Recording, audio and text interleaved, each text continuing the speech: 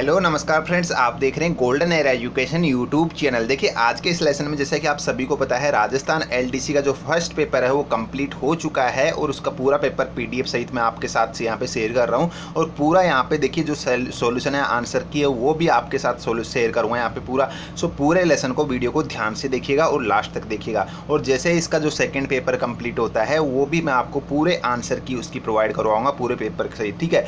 तो जो दोस्त पहली बार अपने चैनल पर विज़िट कर रहे हैं आप अगर सब्सक्राइब नहीं किया आपने तो जो नीचे रेड कलर का सब्सक्राइब बटन है, उसे दबाकर साइड में जो बेल आइकन है, घंटी बटन उसे दबा लीजिएगा, जिससे कि जो ही सारे पेपर्स के आंसर की मैं आपको जो भी यहाँ पे पब्लिश करता हूँ अपलोड करता हूँ, आपको नोटिफिकेशन मिल जाएगी, जो भी आगे पेपर होते हैं, उनकी सबकी, ठीक है? तो अब शुरू करते हैं। देखिए, इस वाली सीरीज़ जो मैं आपको प्रोवाइड करवा रहा हूँ, इसमें यहाँ पे देखिए, जो फ़र्स्ट है, वो राजस्थान जी के वाला पार्ट है। हो सकता है आपके कुछ अलग पार्ट हो, आपकी सीरीज़ में तो आप क्वेश्चन मैच कर लीजिएगा, ठीक है? तो देखिए, पहला क्वेश्चन है किसकी स्मृति में तिलवाड़ा पशु मेला आयोजित किया जाता है? तो ये मल्लीनाथ जो है, मल्लीनाथ जी, उन्हीं की याद में ये तिलवाड़ा पशु मेला आयोजित किया जाता है। दूसरा देखिए जो पर्यूषण पर्व है, ये किस धर्म से संबंधित है? तो ये जैन धर्म वाले मनाते हैं पर्यूषण पर्व को। फिर देखिए, यहाँ पे बाणगंगा का मेला कहाँ लगता है, ये पूछा गया है। तो ये लगता है जयपुर में ही लगता है बाणगंगा जी का मेला जो है। नेक्स्ट यहाँ पे देखिए, एक पूछा गया था कि निम्नलिखित में से राजस्थान राज्य का कौन सा जिला डेयरी दुग्ध संकलन में प्रथम क्रम पर है? तो आपका राइट आंसर होगा जयपुर। यहाँ पे जयपुर हो जाएगा इसका राइट आंसर ठीक है?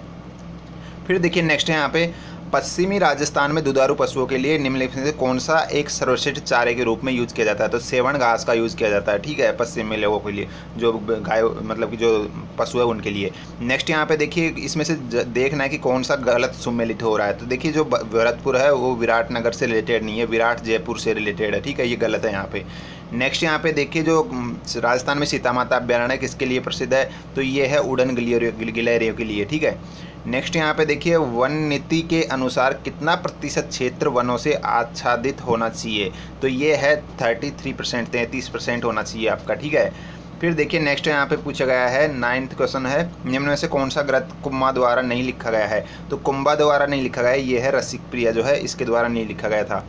एक यहाँ पे देखिए निम्न में से डूंगरपुर और बांसवाड़ा में भील आंदोलन का नेतृत्व किसने किया? तो देखिए, थोड़ा सा मुझे यहाँ पे कंफर्म नहीं है, मैं इसको आपको नेक्स्ट वीडियो में बता दूँगा या कमेंट बॉक्स में लिख दूँगा थोड़ी देर में, ठीक है? नेक्स्ट यहाँ पे देखिए, ग्यारहवा क्वेश्चन है अपना, हाड़ौती सेवा संघ के संस्थापक कौन थे? तो आपका जो इसका राइट आंसर होगा इलेवंथ का, वो हो जाएगा यहाँ पे नैनूराम शर्मा। देखिए, नैनूराम शर्मा जो है हाड़ौती सेवा संघ के संस्थापक थे, ठीक है? बारहवें नंबर का अपना क्वेश्चन है, किसके प्रस्ताव पर मत्स्य संघ का नाम रखा गया था? तो देखिए आपका राइट आंसर होगा के एम मुंशी के नाम पर रखा, प्रस्ताव पर ये रखा गया था, ठीक है? फिर यहाँ पे तेरहवा क्वेश्चन है अपना, जालौर के शासक एवं अलाउद्दीन खिलजी के मध्य संघर्ष की जानकारी इनमें से किस ग्रंथ से प्राप्त होती है? तो मेरे हिसाब से यहाँ पे देखिए, थोड़ा मुझे डाउट है, शायद यहाँ पे पद्मावती या फिर दलपत विलास होगा, और यहाँ पे इसको मैं आपको बाद में बता दूँगा। देखिए नेक्स्ट क्वेश्चन है अपना। जो भी है, निम्नलिखित में से कौन सा नृत्य महिलाओं द्वारा किया जाता है? तो देखिए, आपका राइट आंसर होगा, ये जो किया जाता है, चरी नृत्य किया जाता है महिलाओं द्वारा, और बाकी के जो किए जाते हैं, वो महिला और पुरुष दोनों के द्वारा किए जाते हैं। तो ये केवल ये अकेला नृत्य है, चरी नृत्य, जो महिलाओं के द्वारा किया जाता है। नेक्स्ट यहाँ पे देखिए विष्णोई संप्रदाय के संस्थापक कौन थे? तो जम्बो जी हो जाएगा आपका राइट आंसर बी वाला ऑप्शन उसके बाद में देखिए, पूछा गया है, भारत की ग्यारहवीं पंचवर्षीय योजना की अवधि क्या थी? तो ये थी 2007 से लेकर 2012 तक यह, इसकी अवधि थी, ठीक है? एक यहाँ पे देखिए निम्नलिखित में से राजस्थान के किस ज़िले में अनास बाँध परियोजना का निर्माण किया जाएगा? तो इसका आपका राइट आंसर होगा सेवनटीन का, वो हो जाएगा बी वाला ऑप्शन बांसवाड़ा। नेक्स्ट यहाँ पे देखिए ऑपरेशन स्वर्ण जिसकी घोषणा दिसंबर 2017 में की गई थी, इसका संबंध किस क्षेत्र से है? तो ये है रेलवे से रिलेटेड ठीक है? नेक्स्ट यहाँ पे एक देखिए, उन्नीसवा क्वेश्चन है कि राजस्थान के उमर फारूक मेवाती का संबंध किस क्षेत्र से था? तो उन्नीसवें का आपका राइट आंसर होगा बी वाला, संगीत से क्षेत्र से ठीक है? फिर देखिए, बीस नंबर का क्वेश्चन है, अपना क्वेश्चन नंबर बीस है। जैव ईंधन पर राष्ट्रीय नीति का संबंध निम्न में से किस रसायन से संबंधित है? तो ये मेरे हिसाब से यहाँ पे मेथेल मेथेल जो मेथेनॉल है, ये होना चाहिए। और एक बार मैं कंफर्म नहीं करूँगा, इसको भी मैं आपको राइट आंसर कमेंट बॉक्स में लिख दूँगा थोड़ी देर में। फिर देखिए, एक पूछा गया यहाँ पे, जो प्रधानमंत्री वय वंदन योजना का आरंभ किस वर्ष में किया गया था? तो ये 2017 में किया गया था। मैंने राजस्थान की जो योजनाएँ बताई थी, उसमें इसका बता दिया था। फिर देखिए हेरिटेज वीक 2017 का आयोजन कहाँ किया गया था? राजस्थान किस शहर में तो ये किया गया था जयपुर के अंदर। एक यहाँ पे देखिए, सूर्य किरण जो सैन्य अभ्यास है, वो भारत और किस देश के साथ वो संपन्न किया जाता है। तो ये कितनी ही बार मैंने बता दिया आपको, इसका राइट आंसर होगा नेपाल के साथ और भारत के बीच में होता है। काफ़ी बार मैं बता चुका। फिर देखिए कि यहाँ पे राजस्थान में निम्न में से कौन सा मुख्यमंत्री जल स्वावलंबन अभियान का नवीनीकरण चरण है? तो आपका राइट आंसर यहाँ पे हो जाएगा सी वाला ऑप्शन तरती है।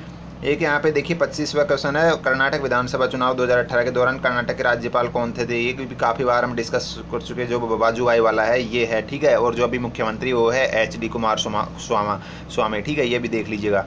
नेक्स्ट यहाँ पे देखिए पूछा गया है कि जो जनगणना 2011 के अनुसार राजस्थान के निम्नलिखित से साक्षरता दर सर्वाधिक पाई गई है। जिलों को ज़्यादा से कम साक्षरता दर के सही क्रम में चिन्हित करना है। यानी कि जो सबसे ज़्यादा है उसको पहले और सबसे कम है उसको बाद में। तो आपका राइट आंसर होगा, पहले सबसे ज़्यादा कोटा में है, दूसरे जयपुर है, दूसरा नंबर पर तीसरे पे है झुंझुनू, चौथे पे सीकर और पाँचवें पे है अलवर। ये इसका क्रम है साक्षरता दर का।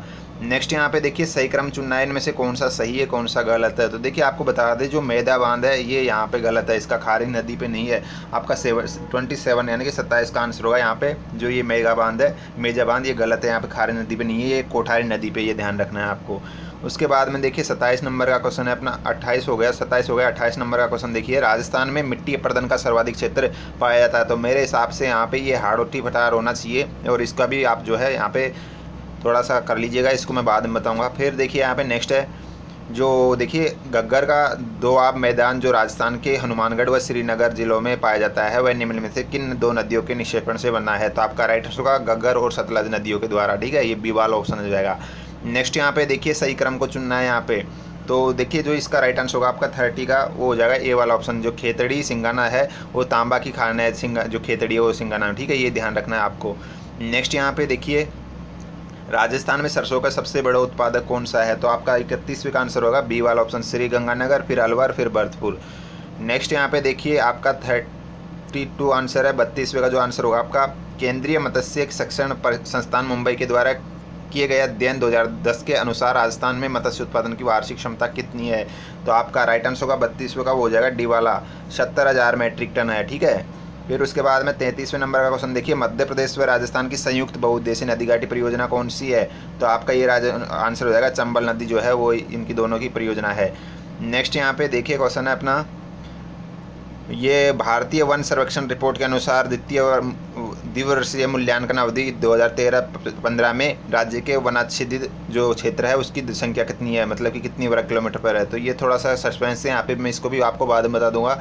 नेक्स्ट यहाँ पे देखिए जो अरावली वन रोपण परियोजना कब आरंभ की गई थी, ये पूछा गया है। तो आपका राइट आंसर हो जाएगा, इसका ये की थी 1992 से और 1993 के बीच में, उन्नीस सौ तिरानवे में शुरू की गई थी।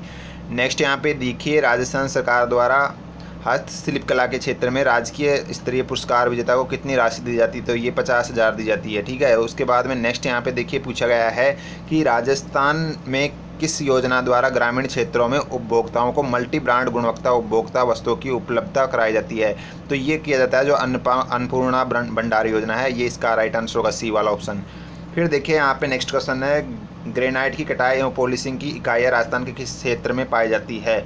तो अड़तीसवीं का यहाँ पे देखिए डी वाला ऑप्शन हो जाएगा, ये उदयपुर, चित्तौड़गढ़, जोधपुर सब में पाई जाती है। ठीक है डी वाला ऑप्शन हो जाएगा ये सभी। राजस्थान का प्रमुख मतलब राजस्थान में ऊर्जा का प्रमुख स्रोत कौन सा है? तो तापीय शक्ति होगा आपका राइट आंसर इसका। नेक्स्ट यहाँ पे देखिए आंसर क्वेश्चन है कि निम्नलिखित में से राजस्थान की कौन सी शक्ति परियोजना राज्य के साझे स्वामित्व में है? तो ये माही परियोजना होना चाहिए मेरे हिसाब से, इसे भी थोड़ा सा आप देख लीजिएगा। उसके बाद में देखिए खुशकेड़ा औद्योगिक क्षेत्र राजस्थान के किस ज़िले में स्थित है? तो आपका राइट आंसर होगा इकतालीस का, वो हो जाएगा सीवाला अलवर में स्थित है खुशकेड़ा औद्योगिक क्षेत्र। नेक्स्ट यहाँ पे देखिए, बयालीसवें नंबर का क्वेश्चन है अपना। राजस्थान के किस उद्योग से, उद्योग में सोडियम सल्फाइड का उद्योग, उपयोग कच्चे माल के रूप में किया जाता है? तो यहाँ पे इसको भी आप स्किप कर दीजिए। इसका भी आंसर मैं नेक्स्ट आपको वीडियो में बता दूँगा। उसके बाद में देखिए नेक्स्ट है। 2015-16 में राष्ट्रीय खाद्य सुरक्षा मिशन वित्त पोषण पैटर्न ने केंद्र, केंद्रीयांश वही लाभ, राज्यांश का अनुपात क्या है। तो देखिए, जो केंद्रीयांश और राज्यांश का जो अनुपात है, वो है सिक्सटी रेशियो फोर्टी साठ अनुपात चालीस होगा। फिर देखिए, ये अपनी योजना जो पूछा गया, अपनी योजना विकास ब्लैंक स्पेस है तो यहाँ पे आपका राइट आंसर होगा। देखिए, ये जो है, आपका इसका राइट आंसर होगा क्वेश्चन नंबर जो ये है चवालीसवा तो इसका राइट आंसर होगा बी वाला ऑप्शन जो रोज़गार सृजन के लिए ग्रामीण विकास योजना है एक। सॉरी यहाँ पे ग्राम पंचायत विकास योजना के लिए निर्माण एवं प्रभावी क्रियान्वयन के लिए विशिष्ट मार्गदर्शिका बी वाला ऑप्शन हो जाएगा आपका राइट आंसर फिर देखिए नेक्स्ट है, पैंतालीसवें नंबर का क्वेश्चन है कि राजस्थान के पाँचवें राज्य वित्तायोग की सिफारिशों के अनुसार राज्य में स्वयं के शुद्ध कर एवं राजस्व ब्लैंक स्पेस प्रतिशत हिस्से का वितरण ग्रामीण एवं शहरी स्थानीय निकाय को करना है। तो आपका राइट आंसर होगा seven point one eight two ये ए वाला ऑप्शन हो जाएगा। इसका राइट उसके बाद में छियालीसवें क्वेश्चन देखिए। राजस्थान में स्पेकल्चर पार्क निम्न में से किस पैलेस किस पैलेस में स्थित है? तो ये देखिए जो माधवेंद्र पैलेस है, इसी के अंदर स्थित है। ये आपका डी वाला ऑप्शन होगा इसका राइट फिर देखिए दीपक चहर का संबंध किससे है? कौन से खेल से? तो ये है क्रिकेट प्लेयर दीपक चहर। उसके बाद में देखिए अड़तालीस नंबर का क्वेश्चन है, पोलावरम डैम निम्न में से किस भारतीय राज्य में स्थित है? तो देखिए जो पोलावरम डैम है, वो स्थित है आपका, जो यहाँ पे आंध्र प्रदेश है, इसी के अंदर स्थित है। नेक्स्ट यहाँ पे देखिए, जो चंद्रभागा समुद्र तट है, वो भारत के किस राज्य में स्थित है? तो ये है उड़ीसा के अंदर चंद्रभागा। फिर पचास नंबर का क्वेश्चन देखिए, पुस्तक judicial reforms research recent global trades के लेखक कौन है? तो ये लिखी गई दलवीर भंडारी के द्वारा। सी वाला ऑप्शन हो जाएगा, ठीक है? उसके बाद में देखिए, अपना यहाँ से मैथ स्टार्ट हो गया 51 से। तो मैथ वाला पार्ट में नेक्स्ट वीडियो में आपको डिस्कस करूँगा, ठीक है? राजस्थान हो गया अपना पूरा मैथ वाला और जो साइंस वाला और बाकी जो पार्ट है हमारे नेक्स्ट वीडियो में आपको मैं जो भी पेपर होता है कंप्लीट सेकेंड पेपर वो सारा आपको यहाँ पर डिस्कस करने वाला हूँ। सो आई होप आपको ये वीडियो ज़रूर समझ में आएगी। और कुछ भी डाउट किसी भी क्वेश्चन से रिलेटेड डाउट है तो नीचे कमेंट बॉक्स में ज़रूर लिखिएगा। वीडियो पसंद आए तो ज़्यादा से ज़्यादा दोस्तों के साथ शेयर करें लाइक करें और सब्सक्राइब करें चैनल को। सो जल्दी आपको जो इसका नेक्स्ट पार्ट है, वो जल्दी ही मिलने वाला है। बस थोड़ा सा वेट कीजिए आप। Thank you so much for watching us धन्यवाद।